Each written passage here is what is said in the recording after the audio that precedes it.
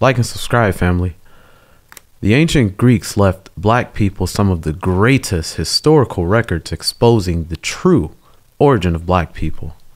However, because the Greeks are presumably a white race, or at least as modern day academia would have us believe, black people never gave the Greek voice a fighting chance to enlighten them. But what if I told you the Greeks were in fact black? Ludicrous, right? Well, this isn't ludicrous at all. According to the ancient Egyptians of Kemet and the Greeks themselves. However, many scholars have hidden these facts to maintain their reputation and their beloved system of white supremacy through institutional racism.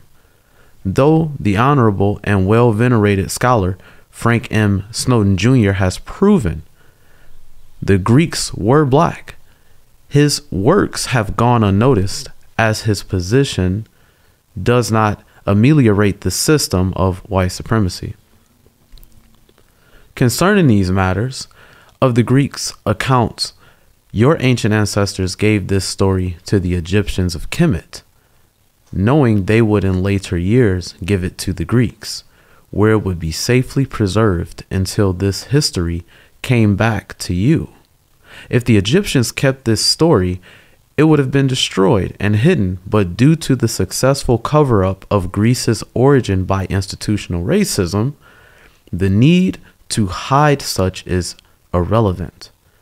They just simply write off the Greeks' history as mythology. But this simply isn't the case. Our historical records were recorded in the ancient lore.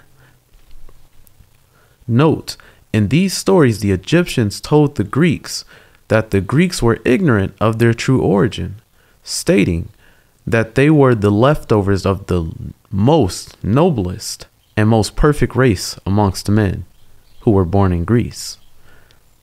So Plato in his book Timaeus verifies that the Greeks are the descendants of the ancient peoples of Athens, Greece.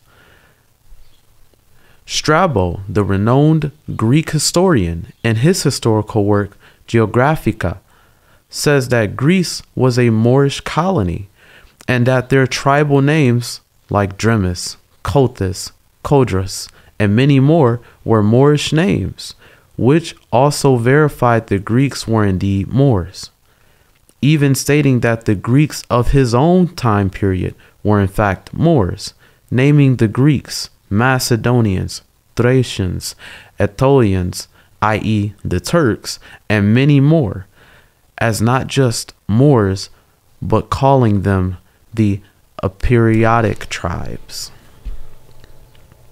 Note, neither Plato nor Strabo use the name Moor directly. Rather, they use the name barbarian, which, according to Plato, were the people of Atlas and Atlantis, while according to Strabo, barbarian referred only to the people of Atlas, as Atlantis during his time was thought to be underwater as confirmed by Strabo's map, which omits Atlantis and every part of Africa below Morocco and Egypt. Plato and Strabo both confirm that Atlas is the Greek's name for Northwest Africa, but Strabo made the true identity of the barbarians irrefutable when he stated that the Greeks referred to the people of Northwest Africa as Maurusians, but made it even more impossible to ever argue by making it clear that the people of Northwest Africa called themselves Mori.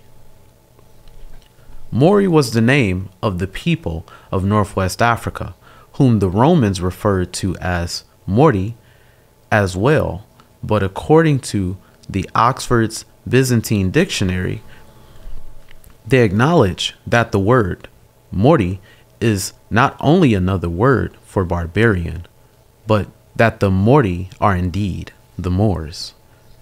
This completely contradicts the force fed position of institutional racism, as they say the Moors started in 711 AD as a mixed group of people, but the Greek historians say differently.